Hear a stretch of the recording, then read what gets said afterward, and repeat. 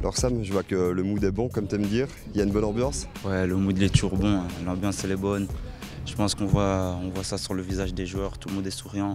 Tout le monde est content d'avoir repris. Et c'est ça le plus important.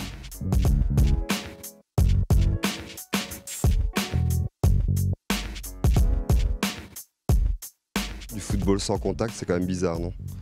C'est bizarre parce qu'on a l'habitude toujours de, de se rentrer dedans, on va dire ça comme ça. Mais euh, je pense que là on fait des entraînements, on respecte bien les, les distances et euh, c'est ce qui nous permet aussi d'améliorer notre technique.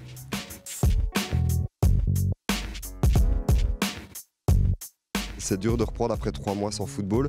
Toi, t'as l'air pas mal là. Moi personnellement ça va, ça va.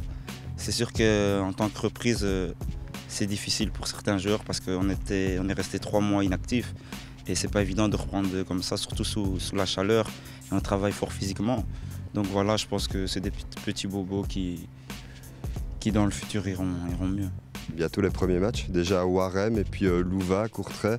Euh, ça va faire plaisir aussi de retrouver des, des- des vrais matchs euh, après euh, trois mois. Ouais, bien sûr, ça va nous faire du bien parce que ça fait, comme j'ai dit, trois mois que qu'on ne joue plus au foot. Et je pense que rejouer des matchs, ça va faire plaisir à tout le monde on va reprendre aussi un peu le plaisir de jouer. C'est ça qu'on qu attendait tous.